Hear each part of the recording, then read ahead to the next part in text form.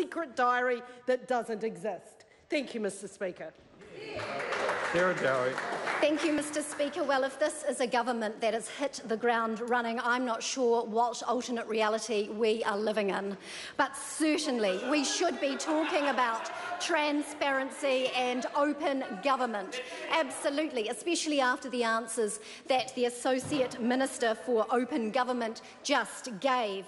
Open government, we've been lectured on this for the past three, nine years while we were over that side of the House. New Zealand Labour, New Zealand First, and New Zealand Greens lectured us on the importance of the Official Information Act. Line, chapter, verse, on we go. Lectured us on the importance of using the appropriateness of urgency. Lectured us on how the Official Information Act is so integral to good government.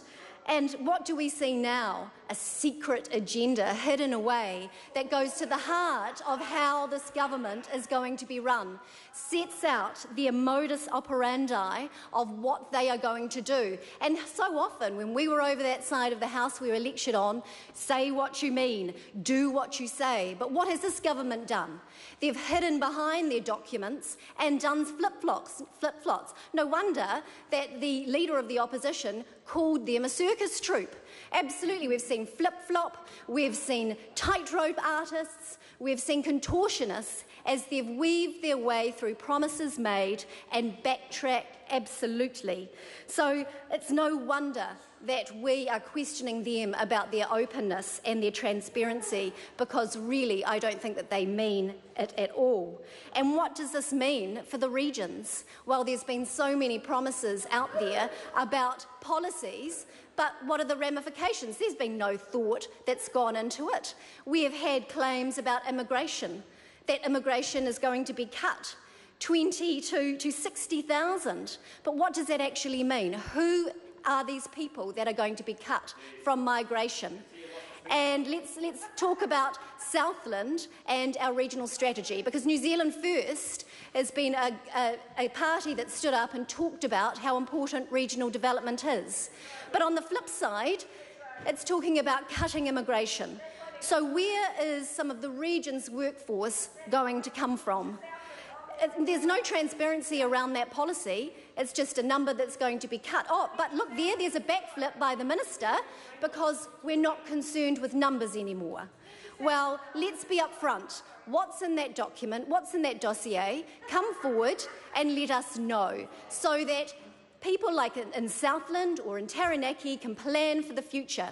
Just the other day, I was visiting a constituent five jobs for electricians available, five jobs available that he could hire straight away. Where are those people going to come from? Well, I've got news for New Zealand First. They're not going to come from Auckland, Wellington, or Christchurch. We need skilled people. And moving on to the regional development with the flip flop and this $1 billion fund that Dr. Evil keeps talking about $1 billion, whether it's new funding or a mixture.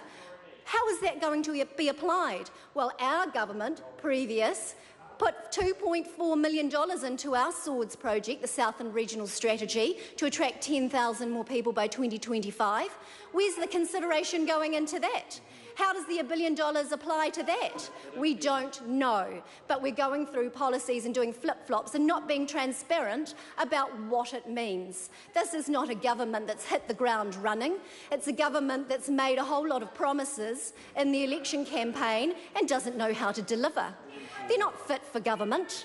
They don't know how to be ministers. They don't know how to be good government uh, members. They don't know what the ramifications of their policies are.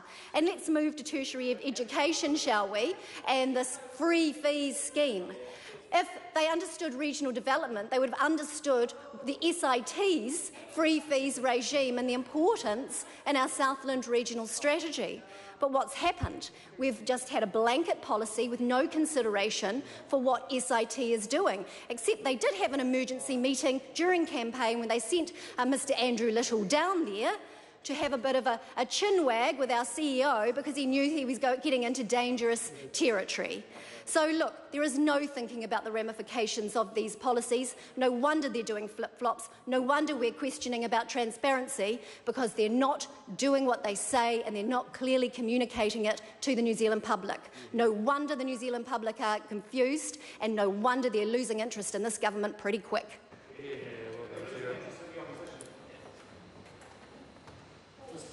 Mark Patterson. Well, it's uh, a bit of a uh, rarity to be